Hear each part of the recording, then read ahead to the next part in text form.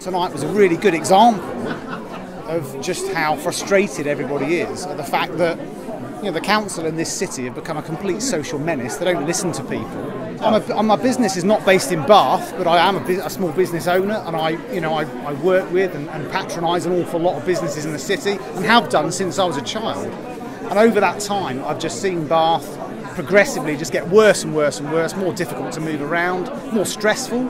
You know, me and my wife are actually thinking of moving away from the city um, just because it's become such a such a stress and such a nightmare. In terms of the problems, you know, some of them have been highlighted tonight. You know, you've got you've got neighbours in disputes with each other, falling out with each other.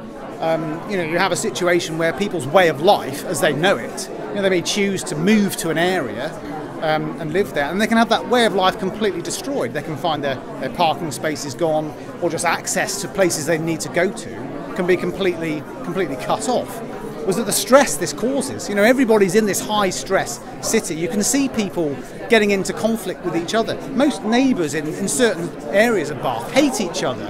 And the only reason they hate each other is they've all fallen out about parking. Um, I think a lot of people will, will, will, think that if we can vote out the Lib Dems, maybe vote in a Conservative council, that, that won't work, in my opinion. The Tories in Bath will do exactly the same thing. They'll be signed up to those same awful organisations that, that, that, will, they won't be able to turn the money down. The, the, the council in Bath, whichever party it is, they, they're representing a much larger national or maybe even global agenda. That's what they're representing. They're also representing very extreme political ideologies.